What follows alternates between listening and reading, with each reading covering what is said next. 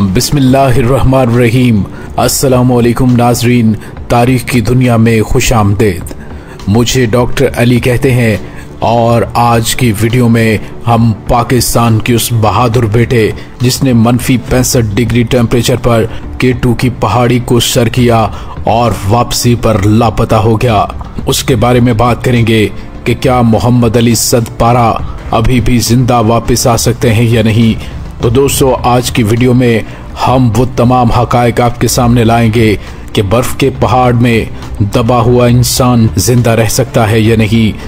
Video की तफसील में जाने से पहले हमारे चैनल को सब्सक्राइब कीजिए और बेल आइकन को ज़रूर दबा दीजिए ताकि हमारी आने वाली वीडियो सबसे पहले आप तक पहुँच सकें। और कमेंट सेक्शन में मोहम्मद अली सदपारा और उनके साथियों की बाहिफाजत वापसी के लिए दुआ भी कीजिएगा। नाजरीन के टू जहाँ बुलंद चोटियों को तस्खीर करने वाले कोह पैमाओं के दिलों में एडवेंचर या मुहिम जोई जैसे जज्बात जगाती है, वहीं ये चोटी दुनिया की सबसे बुलंद एवरेस्ट से भी ज़्यादा खतरनाक समझी जाती है। नाजरीन, इस चोटी को सर करने की जुस्तजू करने वाले हर चार में से एक को पैमा की मौत वाक़ हो जाती है।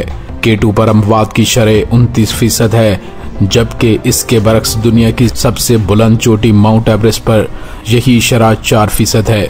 नाजीन दुनिया के इस दूसरे बुलंद तरीन पहाड़ केटू के सर्दियों में फतह करने की कोशिश करने वाले पाकिस्तानी कोह पैमा मोहम्मद अली सदपारा समेत तीन कोह पैमाओं का रबता जुम्मे के रोज से बेस कैंप, टीम और अहल खाना से मुनकता हुआ और हफ़्ते की शब दो रोज की तलाश और बचाव के ऑपरेशन में कामयाबी न मिलने के बाद मोहम्मद अली सदपारा के बेटे साजिद सदपारा ने कहा कि अब इस कार्रवाई को उनके वालिद की लाश की तलाश के ऑपरेशन में तब्दील करके जारी रखना चाहिए।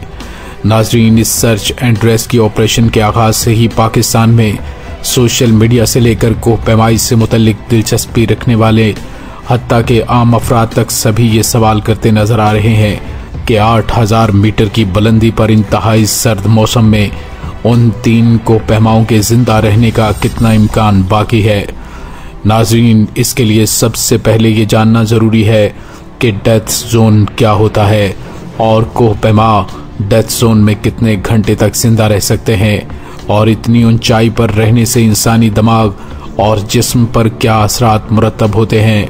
नाजरीन, तिब्बी माहरीन के मुताबिक, इंसानी जिस्म सतह समुंदर से इक्कीस हज़ार मीटर तक बुलंदी पर रहने के लिए बना है और इससे ज़्यादा बुलंदी पर इंसानी जिस्म में ऑक्सीजन की सेचुरेशन तेज़ी से कम होना शुरू हो जाती है और जिसमें मनफी असरात रूनमा होना शुरू हो जाते हैं।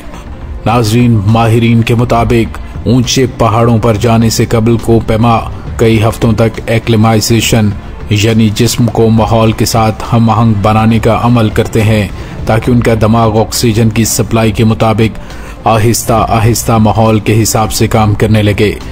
नाजीन को पैमाई के माहरीन के मुताबिक केटू पर अमूमन कैंप वन छः हज़ार मीटर की बुलंदी के बाद कोपेमा ख़तरनाक जोन में दाखिल हो जाते हैं और उनमें ऑक्सीजन की कमी की मनफी असरात भी रूनमा होना शुरू हो जाते हैं। तहकीक करने वाले बताते हैं कि कई कोपेमा हाई अल्टीट्यूड पल्मोनरी एडीमा या फिर हाई अल्टीट्यूड सेरिब्रल एंडीमा का शिकार हो जाते हैं जो ज़्यादातर मौत की वजह बनता है। हाइपोकिसिया ऑक्सीजन की कमी के साथ नब्ज तेज हो जाती है, खून गाढ़ा होकर जमने लगता है और फालिज का खतरा बढ़ जाता है। ज़्यादा ख़राब हालत में कोपेमाओं के फेफड़ों में पानी भर सकता है और वो हाई अल्टीट्यूड सेरिब्रल एंडीमा का शिकार हो सकते हैं। उन्हें खून के साथ या उसके बगैर खांसी आ सकती है और उनका निज़ाम तनफ़ुस बुरी तरह मुतासर होता है। नाजरीन ऐसी हालत में बेशतर को पैमाओं का दिमाग काम करना छोड़ देता है। उनमें सोचने समझने की सलाहियत ख़त्म हो जाती है। उन्हें अजीब हिजानी ख्याल आते हैं और फिर वो अपनी ज़िंदगी का खात्मा कर देते हैं। नाजीन सतह समुंदर से 8,611 मीटर की बुलंदी पर वाक़ केटू का बॉटल नेक के नाम से मशहूर मुकाम तकरीबन 8,000 मीटर से शुरू होता है। और कोपेमाओं की इस्तलाह में उसे डेथ जोन या मौत की घाटी कहा जाता है, जहाँ बका के चैलेंजेस में नुमाया इजाफा होता है। नाजीन जहाँ कोपेमाओं को जानलेवा कुदरती मौसम के साथ नबरदाजमा होने के साथ साथ अपने जिस्म के अंदर भी एक लड़ाई लड़नी पड़ती है। डेथ जोन में जहाँ एक गलत कदम का मतलब सीधा हज़ारों फीट गहरी खाई या ग्लेशियर में गिरकर मौत को गले लगाने के मुतरदिफ है वहीं इस ऊंचाई पर ऑक्सीजन की मजीद कमी से संगीन असरात रुनवा होते हैं और इंसानी दिमाग का जिस्म पर कंट्रोल खत्म हो जाता है और जिस्म मफलूज हो जाता है। नाजरीन, डेथ जोन में इंसानों को सांस लेने के लिए दरकार ऑक्सीजन की कमी से जहाँ अल्टीट्यूड सिकनेस के इम्कान बढ़ जाते हैं, वहीं इतनी बुलंदी पर तेज हवाएँ भी को पैमाओं के लिए जानलेवा साबित होती हैं। नाजीन, जहाँ पर इंतहाई कम दर्जा हरारत भी जिस्म के किसी भी हिस्से में फ्रॉस्ट बाइट का बायस बन सकता है। इतनी बुलंदी पर इंसानी जिस्म को पेश आने वाले तिब्बी मसाइल ज़्यादा हौलनाक हो सकते हैं। नाजीन डेथ जोन में गलती की कोई गुंजाइश नहीं होती और यहाँ पर आप मखसूस वक्त से ज़्यादा नहीं गुजार सकते। यहाँ पर नींद या ज़्यादा देर रुकने का मतलब मौत को दावत देना है।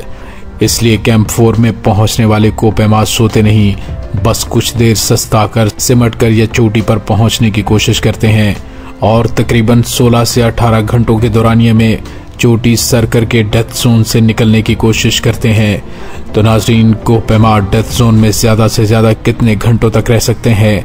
इसका सीधा सा जवाब है 16 से 20 घंटे। कोपेमाओं को खसूसी हदायत की जाती है कि वो डेथ जोन में इससे ज़्यादा वक्त हरगिज न गुजारें। अगरचे अड़तालीस घंटे से ज़्यादा किसी को पैमा के 8000 मीटर से ऊंचाई पर ज़िंदा रहने के इम्कान बहुत कम होते हैं।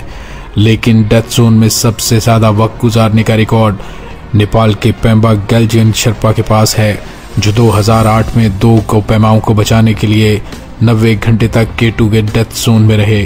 नाजीन, जब उनसे पूछा गया कि दो कोह पैमाओं को बचाने के लिए क्यों डेथ जोन में वापस गए और क्यों 8000 मीटर से ज़्यादा बुलंदी पर मौत की घाटी में नब्बे घंटे का वक्त गुजारा?